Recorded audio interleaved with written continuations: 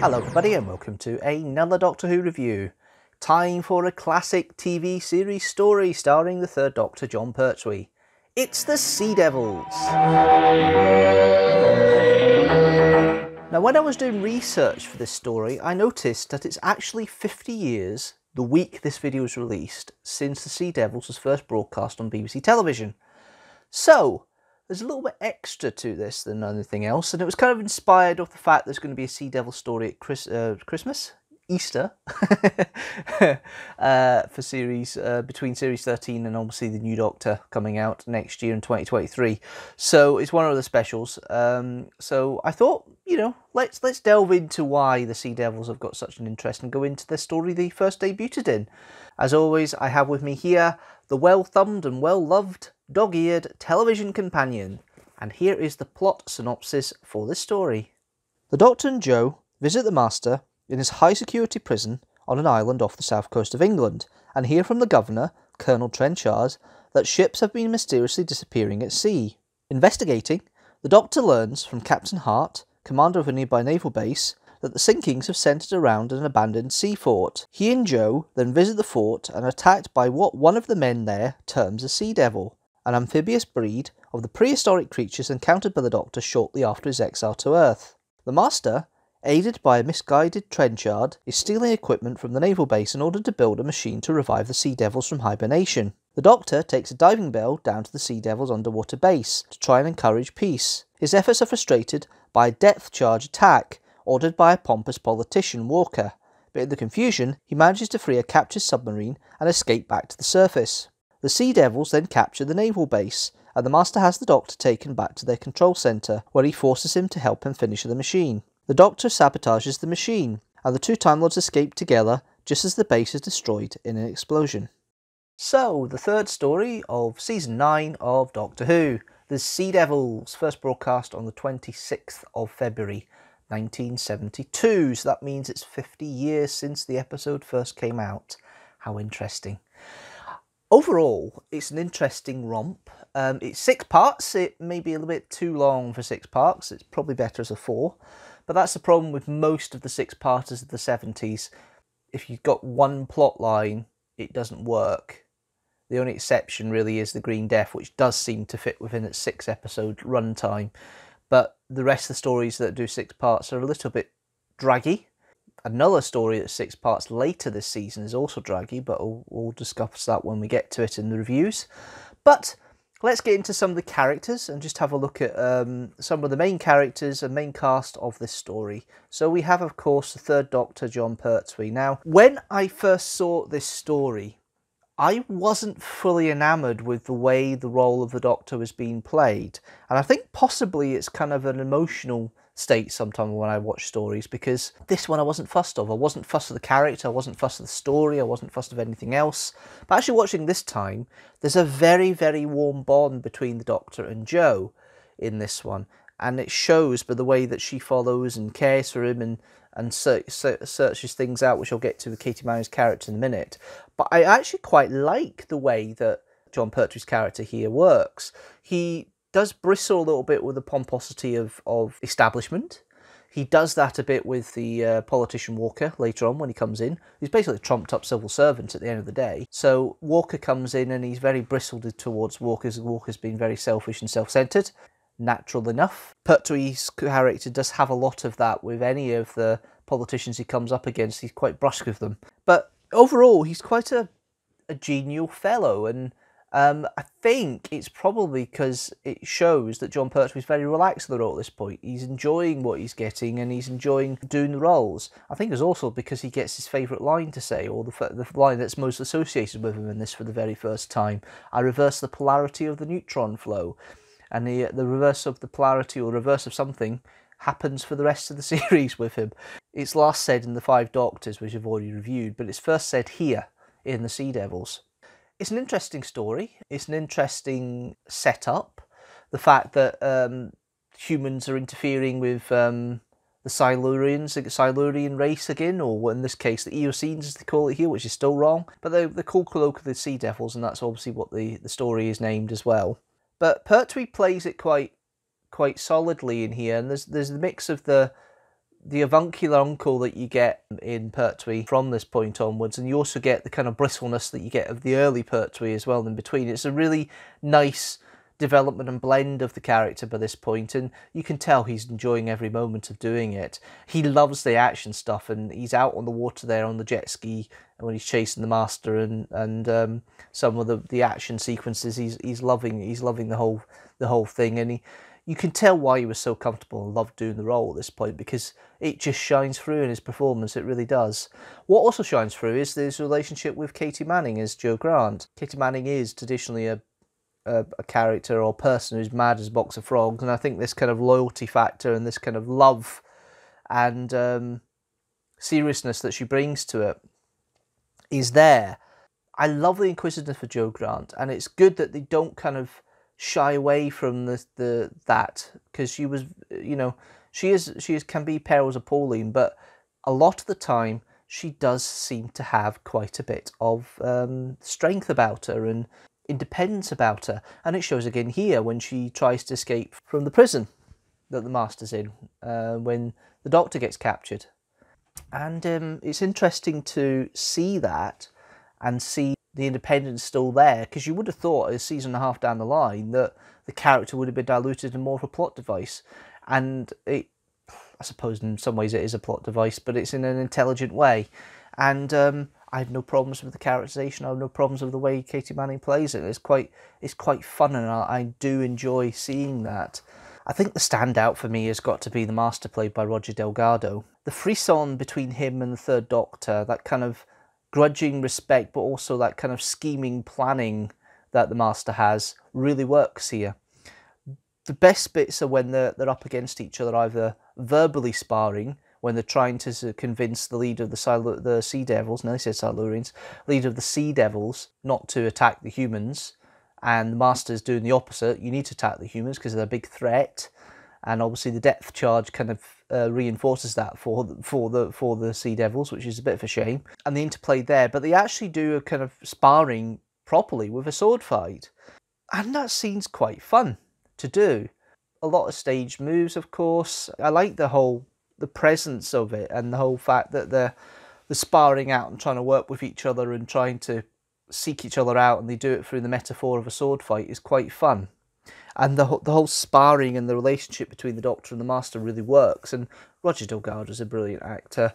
He's a brilliant villain. And um, you can see he relishes his role with aplomb there is one scene, of course, with the Master which I think is quite well, and it's a well-known scene. It's it's the scene with the Master and he's watching an episode of The Clangers. Now, everybody thinks the Master doesn't know who the Clangers are, but if you actually look at the whole scene, and you look at what's happening with it, Trenchard comes in, he talks about it being a kids' TV program, and the Master thinks it's an interesting extraterrestrial broadcast. Because Trenchard didn't get the joke and the fun of it, the Master's looking a bit grumpy afterwards. And most people don't recognise that because they tend to cut that reaction out before they get to it.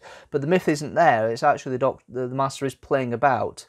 And you see that in the sound of drums when he comes back in and watches the Teletubbies in, in series three of the new series. So the Master does have a sense of humour there and a bit of um, joy in the way he plays the role.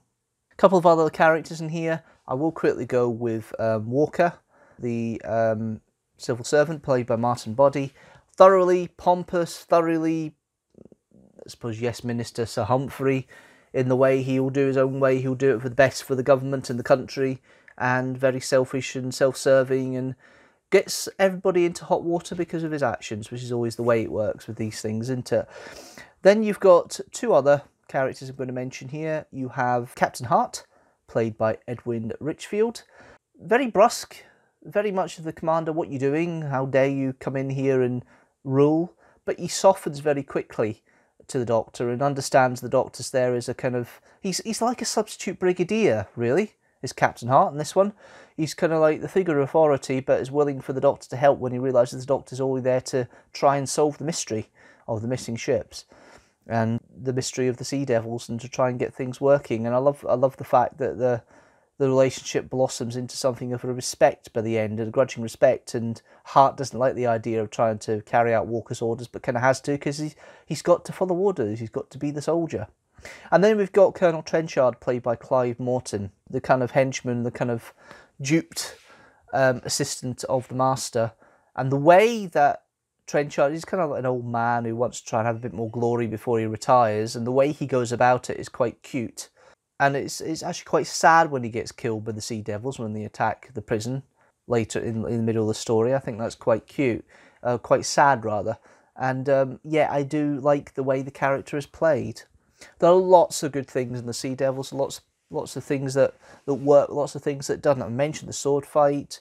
I've mentioned the interplay between um, Walker and the other characters with the depth charge. The Sea Devils themselves are, are played quite well. Pat Gorman's the main Sea Devil here, and the the, the kind of voice, the hissy voice, is kind of like well, it's kind of kind of bubbly like they're underwater. I like I like the way they've they've they've utilized it. And I wonder if they'll do that for the the special that comes up in a couple of months' time, um, and whether they'll get down to that.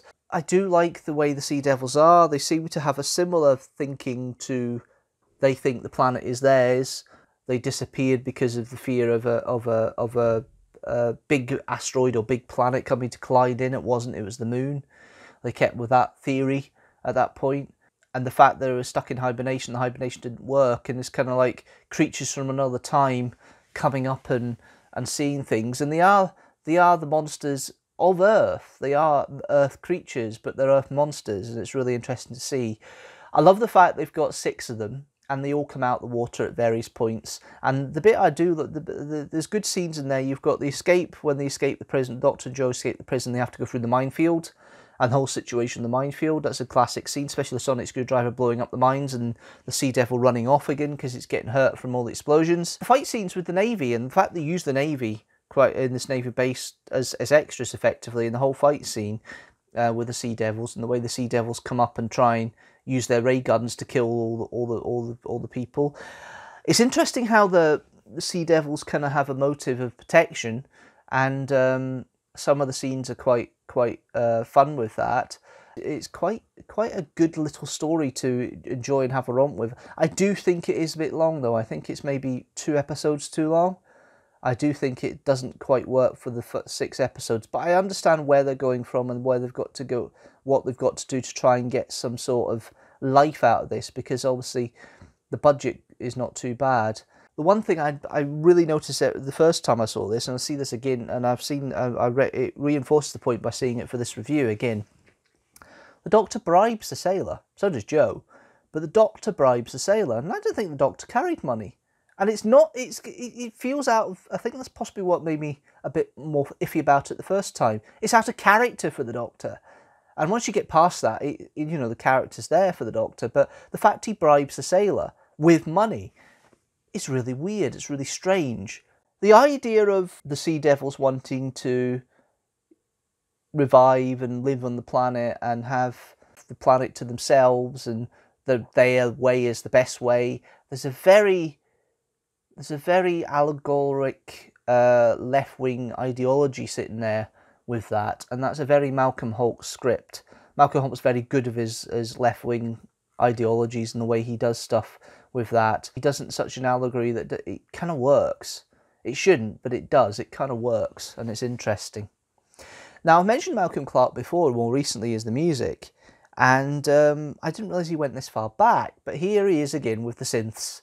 And the, the way the synths are, it's not, there's not really any music as, as such, it's more like incidental cues and leitmotifs that come in here. But it works. It works, and it gives the sense of the 70s uh, feel, the early 70s feel you get from the Pertwee era. It's definitely a Pertwee era sounding music soundtrack, and I actually quite like it. I think, again, I think the scoring kind of undertones like it does in Resurrection of the Daleks, which is the last uh, review I did with his music. It does heighten the tension in the, the times it needs to, and it, it, it does the job, and it's, it's quite inoffensive. Overall, it's a lovely action piece, and Michael E. Briant's very good at his action pieces. He's done a lot of good action stuff before this. He's maybe not Douglas Camfield level when it comes to the strength of his direction, but he's he's very good at at, at, at, at the set pieces. He the direction there with Havoc really helps because the stunt team is Havoc for the last time, and that really helps. I just like the direction. I like I like the story. I'm quite keen on the story in regards to the way it, it runs along. I do think it's too long though. I really do think it's too long, and I think it would be better as four episodes. And I've said this multiple times because it's true. There's a bit of back and forth going between the prison and, and the naval base that could be cut out. They could get to the bit uh, with the diving bell and the doctor being captured by the Sea Devils after the diving bell a bit quicker. But overall, it's not a bad wee story. It's not quite take your brain out. There's a little bit more to it, but it's not it's not top level for me. It's kind of it's middling, uh, but high middling. So I give this a rating of three and a half TARDISes out of five. So let's see how this story fits in with the rest of the Jon Pertwee era I've reviewed so far, and also how this story fits in with the rest of the Doctor Who TV stories I've reviewed so far as well. The Sea Devil sits at 3.5 TARDISes out of 5 alongside the three Doctors. At the top, with 4.5 TARDISes out of 5, is Inferno. Overall, we still have Timelash and Sleep No More with 2.5 TARDISes out of 5 at the bottom, and at the very top is still 6 stories, including Inferno, at 4.5 TARDISes out of 5, The Happiness Patrol, The Day of the Doctor, The Caves of Androzani, The Tomb of the Cybermen, and Dalek. That's it for this Doctor Who review. Leave a comment down below and tell me what you think of the Sea Devils. Do you like it? Leave a comment down below. Do you not like it? Leave a comment down below. As always, if you like this video, don't forget to like it and share it with the hashtag TeamStructor. And don't forget to hit that subscribe button if you like the channel as a whole, and the notification bell so you know when a new video comes out. General rule, new video every Sunday at 4pm GMT. This Sunday is 6 facts on David Livingstone. Hopefully I can join you for that. Hopefully I'll see you in a week and a half's time with the live stream for March, the Streams Doctor for March on the 6th of March. But until then, thanks guys for watching as always, and I'll see you later.